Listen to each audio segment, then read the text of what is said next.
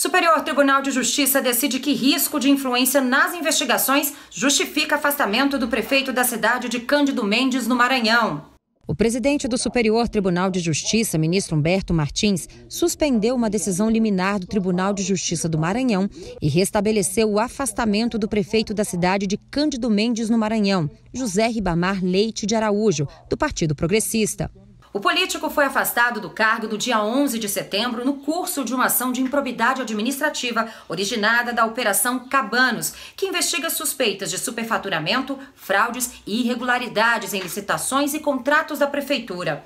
O afastamento por 180 dias foi determinado pelo juízo da comarca da cidade com base na Lei de Improbidade Administrativa para garantir a instrução processual.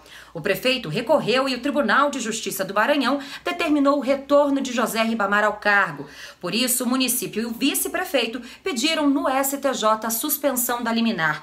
Alegaram, entre outros pontos, que o retorno do prefeito ao cargo representaria risco de lesão à ordem pública, uma vez que ele foi preso em flagrante portando armas e cerca de 500 mil reais em dinheiro, além de ter tentado ocultar provas documentais.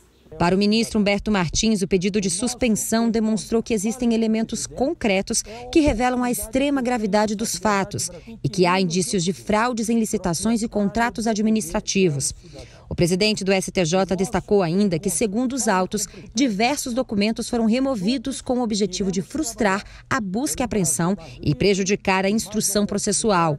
Além disso, o ministro considerou que, no exercício do cargo, o prefeito exerce influência sobre as pessoas envolvidas nos fatos apontados pelo Ministério Público.